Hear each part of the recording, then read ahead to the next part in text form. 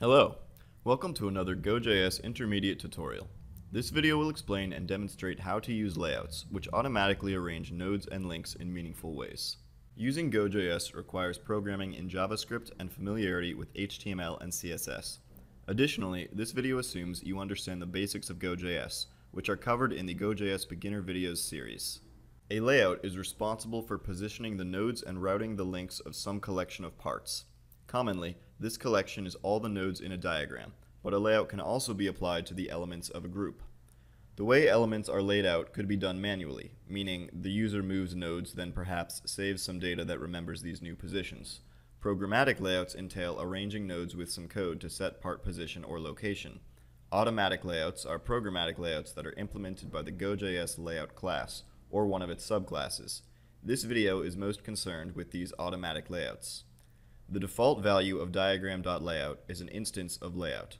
The layout base class is unlike any of its specific subclasses. It only sets the position of nodes that do not already have a position. It leaves all nodes that do have defined positions untouched, and it ignores links entirely. Let's demonstrate this. Here's a simple diagram and model. Note that the diagram.layout is not set, so the diagram will be using the default layout class. We've manually set the locations of a few nodes so that they will be overlapping via data binding. Only the gamma and delta nodes do not have their positions set. When we load the page, we see alpha and beta overlap, since their locations of 100, 100, and 100, 120 are so close to each other. Our layout class automatically positions the delta and gamma nodes starting at 0, 0, so neither overlap with the others. Other layouts, of course, have more complex behavior, but this is a good way to see how an automatic diagram layout can do a lot of work with little code. Initializing a layout can be done in two ways. You could use a simple JavaScript statement, such as this one, or you can initialize the layout property using graphObject.make. We recommend using graphObject.make whenever you can because of the error checking it does for property names.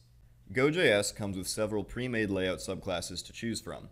These include grid layout, which places nodes in a grid-like arrangement, tree layout, which positions nodes of a tree-structured graph in rows or columns, force-directed layout, which treats the graph as if it were a system of physical bodies with forces acting on them and between them, layered digraph layout, which arranges nodes of directed graphs into layers in rows or columns, and circular layout, which positions nodes in a circular or elliptical arrangement.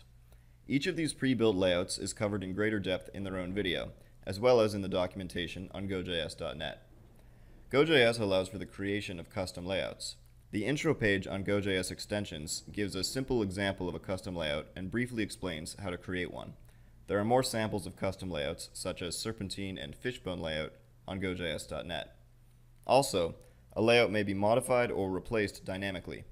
Here is the Fishbone layout sample page on gojs.net. If we click these buttons below the diagram, the diagram.layout is changed and its nodes are laid out again according to the newly set layout. Common to all GoJS layouts is the concept of validity. That is, a layout at any time may be considered valid or invalid. A layout is considered valid when it has performed its positioning of its nodes and perhaps routed its links. However, some kinds of changes cause a layout to become invalid, thereby causing it to be performed again in the near future. Since layouts can be computationally expensive, they are not performed as soon as they are invalidated. Instead, they are typically performed at the end of a transaction. There are several reasons a layout may be invalidated.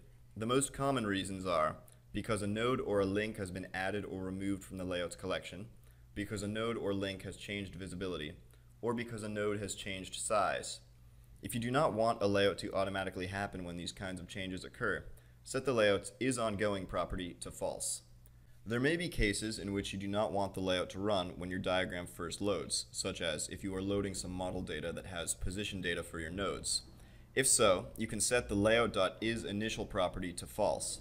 If layout.isInitial and layout.isOngoing are both false, you can still perform a manual layout by either calling layout.invalidateLayout or by calling diagram.layoutDiagram with a true argument. You can get even more specific about when you want a layout to be considered invalid by setting a part's layout conditions property. This property may take a combination of part layout flags that suit your needs. It is most common to not want a layout for the part.layout node size condition.